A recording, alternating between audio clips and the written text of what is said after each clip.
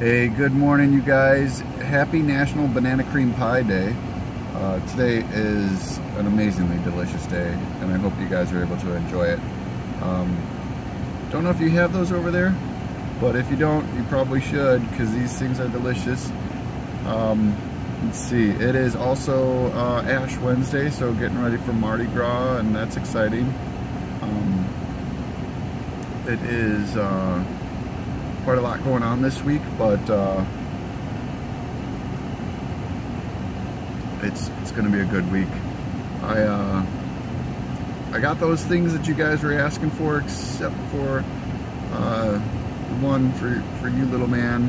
Um, I uh, a last minute change, so I'm hoping that it's okay. And I thought that uh, I would include something in there for you guys. Um, not exactly how I'm going to phrase it yet, so there's just a special present included.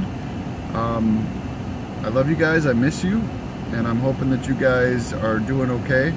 I'm really hoping that you guys will be uh,